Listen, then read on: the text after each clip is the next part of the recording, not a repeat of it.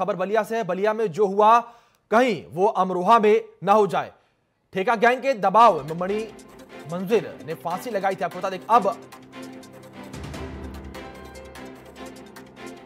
आपको बता दें कि अब अमरोहा में ईओ दीपिका को जान का खतरा है।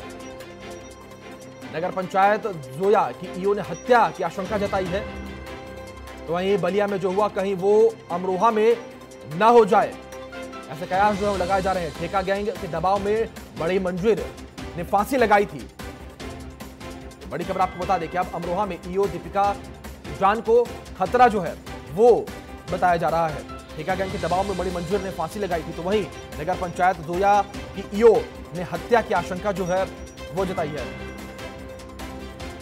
तो वहीं अमरोहा से हमारे सहयोगी आशुष शर्मा हमारे साथ जुड़े हैं, इस खबर पर अधिक जानकारी जिस तरीके से ये खबर सामने आई कहा जा रहा है कि बलिया में जो हुआ, कहीं वो अमरोहा में ना हो जाए। क्या कुछ ताज़ा अपडेट है पूरे मामले पर? जहाँ पर लगातार कहा जा रहा है कि बलिया में जो हुआ, कहीं वो अमरोहा में ना हो जाए। ठेका गैंग के दबाव में मणि मंजिर ने फांसी लगाई थी तो वहीं अब अमरोहा में ईओ दीपिका को जान का खतरा जो है, वो बताया जा रहा है। नगर पंचायत जोया की ईओ ने हत्या की आशंका जताई है। आपको बता दें कि नेताओं, दबंग कर्मचारियों के गैंग से परेशान दीपिका। डीएम के सामने शिकायत करते बेहोश हो गई दीपिका, आपको बता दें। फ़ील्ड में महिला अफसरों का उत्पीड़न जो है लगातार हो रहा है, लगातार महिला अफसरों का उत्पीड़न जो है वो देखने को मिल रहा है। जबरन फ़ाइल पर साइन करवाए जा रहे हैं, ठेके को लेकर दबाव जो है बनाए जा रहे हैं। फ़ील्ड में ईमानदारी से काम करना जो इस वक्त वो अब मुश्किल हो गया है। तो आपको बता दें कि बलिया में जो हुआ, कहीं वो अमरोहा में ना हो जाए, ये सवाल लगातार इस वक्त खड़ा हो रहा है। ठेका गैंग के दबाव में मणि मंजूर ने फांसी लगाई थी।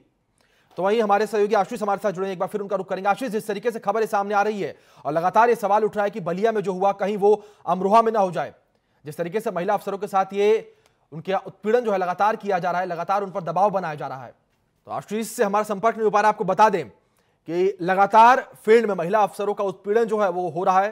तो वहीं आपको बता दें कि डीएम के सामने शिकायत करते हुए दीपिका जो है बेहोश हुई थी तो वहीं नेताओं और दबंगों का जो ज़ोर है लगातार देखने को मिला, ज़बरदस्ती जो है जबर, उनसे जो साइन है फाइलों पर कराया गया।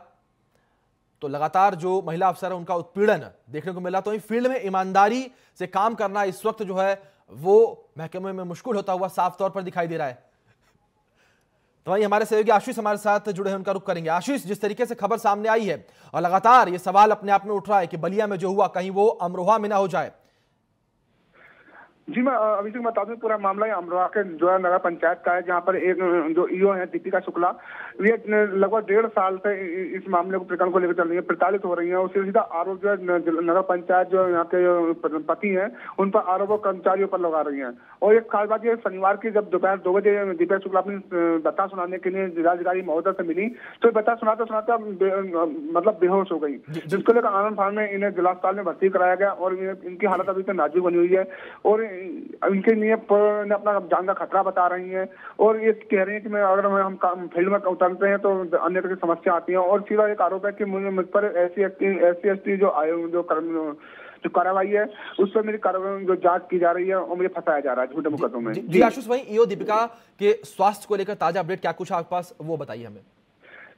जी फ़िलहाल जो आज की ताज़ा तस्वीरें जो अभी ऑनलाइन टीवी एक्सक्लूसिव तस्वीर दिखा रहा है अपने दर्शकों को जो इसमें भेजा है बेहोशी की हालत में है पड़ी हुई है एक जो स्थान पुलिस को जो सूचना मिली है पुलिस ने अपने अधीनस्थ को भेजा है महिला दरोगा को भेजा गया है उनकी देखभाल के लिए लगाया गया है। फ़िलहाल अभी तक ज़्यादा कुछ कहना नहीं चाह रही सीधे थोड़ा सा मीडिया से रूबरू हुई थी ऑनलाइन से। और साफ़ कहना है की मेरे प्रताड़ित कर रहे हैं। मेरी नौकरी करना मुश्किल हो गया है। जिस तरीके से साफ़ तौर पर साफ़ तौर पर कहा जा सकता है की फ़ील्ड में ईमानदारी से काम करना अब एक तरीके से ऐसा लग रहा है कि अपराध बन गया है कि अगर आप ईमानदारी से अपना काम कर रहे हैं पूरी ईमानदारी के साथ अपने कार्य का आप निर्वहन कर रहे हैं तो ये आपके लिए एक अपराध बन गया है जी अभिषेक आप सही सही कह रहे हैं। जिसको लेकर इन्होंने कहा कि मैं फ़ील्ड में ईमानदारी से करती हूँ और अभी लाइटों का प्रकरण इन्होंने बताया है कि लाइटों को लेकर मुझसे ढूंढ मतलब जवाब बनाकर कुछ जो पास कराई जा रही है फाइलें जिसको लेकर इन्हें जवाब जैसे ये झेलना पड़ रहा है विरोध भी झेलना पड़ता है प्रताड़ित भी हो रही है।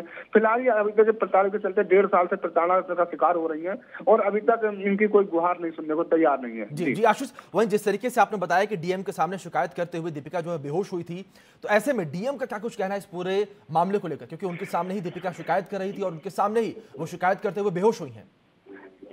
डीएम जो उमेश मिश्रा है उन्होंने उनका कहना है कि मेरे पास आई थी बताते हैं अचानक इनको गिर गई। तुरंत अस्पताल में पहुँचाया गया है इनके स्वास्थ्य में सुधार है पुलिस उनको सुरक्षा के लिए दे दी गई है और द्वारा जो शिकायत की गई उसकी जाँच कराई जा रही है। जी, जल्दी सब कुछ साफ़ हो जाएगा इस मामले में। जी जी आशीष वही और साफ़ तौर पर जो है उन्होंने कहा था कि नेताओं और दबंग कर्मचारियों के गैंग जो है वो परेशान कर रहे हैं। दीपिका को लगातार उनसे वो परेशान है और इसके बाद दीपिका जो है डीएम के पास पहुँची उन्होंने अपनी बात जो है डीएम के सामने रखी। तो ऐसे में कोई नाम निकल कर सामने आया क्या आशीष? कि किसी नेता का जो है नाम दीपिका ने लिया हो किसी दबंग का नाम उन्होंने लिया हो। इतना दबाव के चलते ईओ नगर पालिका दीपिका शुक्ला भी पूरे उन्हें खुलकर बोलने से साफ़ साफ़ नहीं आ रही है कैमरे में जो बता सकें सिर्फ़ दबी ज़ुबान में कह रही है कि मैं जो दबाव है वो नेताओं का दबाव है और कुछ गुर्गे हैं कुछ कर्मचारी उनकी सपोर्ट नहीं कर रहे हैं। जिस तरीके से अब खुल के भी सीधा सीधा वो आरोप लगे बस एक चेयरमैन के पति पर उन्होंने इस बात को कबूला है कि वो अपने पीछे से बैकग्राउंड में रहकर उनका उन्हें प्रताड़ित कराने का काम कर रहे हैं। जी जी आशीष वही और ये भी बात सामने आई कि जबरन जो है फ़ाइल पर दीपिका जी से साइन करवाया गया था और ठेके को लेकर उनके ऊपर दबाव भी लगातार बनाए जाने तो ऐसे में कहीं ना कहीं देखा जाए कि जो प्रशासन है वो पस्त पड़ा हुआ है और पुलिस महकमा भी पस्त पड़ा हुआ है, क्योंकि जो गुंडे हैं, आशीष, रोकना चाहेंगे आपको? सीधी तस्वीरें एक्सक्लूसिव तस्वीरें हम आपने दर्शकों को दिखना, दिखाना चाहेंगे। दीपिका जो है, किस तरीके से बेहोश जो है, वो डीएम ऑफ़िस में हुई थी, अपनी शिकायत करते करते वो बेहोश हो गई थी, अपने जो उनकी, जो उनके दुख है, अपनी पीड़ा को व्यक्त करते हुए किस तरीके से वो बेहोश हो गई, उसकी तस्वीरें आप इस वक्त सिर्फ़ और सिर्फ़ आर नाइन टीवी पर देख सकते हैं। आर नाइन टीवी पर बेहोशी की हालत में दीपिका की जो एक्सक्लूसिव तस्वीरें हैं, वो आप देख सकते हैं। किस तरीके से आपको बता दें कि लगातार जो है दबाव दीपिका पर बनाया जा रहा था, लगातार उनसे जबरन जो है साइन कराया जा रहा था तो वहीं किस तरीके से डीएम के सामने अपनी बात रखते हुए बेहोश जो है दीपिका हो गई। ये तस्वीर आप एक्सक्लूसिव देख सकते हैं। रुक करेंगे अपने सहयोगी आशीष का। आशीष, जिस तरीके से हम बात कर रहे थे कि जबरन जो है दीपिका जी से साइन करवाया गया, ठेके को लेकर उनके ऊपर दबाव बनाया गया, तमाम तरह के दबाव उनके ऊपर बनाया गया तमाम तरह के जो उनके ऊपर हमेशा दबाव बने रहे। तो ऐसे में कहीं ना कहीं जो पुलिस महकमा है वो भी लापरवाह दिखाई दिया और कहीं ना कहीं जो दबंग है, जो नेता है, उनके ऊपर भी पुलिस का कोई भी खौफ नहीं है। ऐसे में साफ़ तौर पर समझा जा सकता है कि जो दबंग है, वो बेखौफ होकर घूम रहे हैं। जी, आप अभी देख सही कह रहे हैं, जो दबंग है, वो पूरी दबंग नहीं दिखा रहे हैं, साथ में तस्वीरें हैं। ये काम, जो कहते हैं कि महिला अबला है तो इसे है साफ़ तस्वीर आप देख सकते हैं अवला की तस्वीर दिखी है यहाँ एक अधिकारी की नज़र से नहीं देखा जाए तो पूरा तरह ये अबला के रूप में है और जो ऐसा नहीं डेढ़ साल से प्रताड़ित हो रही है दीपिका शुक्ला जो यू है फ़िलहाल शासन से लेकर कई बार अपनी बात रख चुकी है डीएम से भी कई बार यहाँ पर गुहार लगा चुकी है यहाँ पे ये भी थक चुकी है कहते कहते अब इन्हें अपनी जान का भी खतरा बता रहे है मुझे अगर मैं अपनी तौर पर मैं अपनी जान का खतरा है मुझे डेढ़ साल से लगातार जो दीपिका है वो लगातार अपनी शिकायत कर रही थी लेकिन इसके बाद भी शासन प्रशासन सोता हुआ नज़र आया। बहुत बहुत शुक्रिया, आशुष आपका हमारे साथ जुड़ने के उन तमाम जानकारियों को हम तक पहुँचाने के लिए।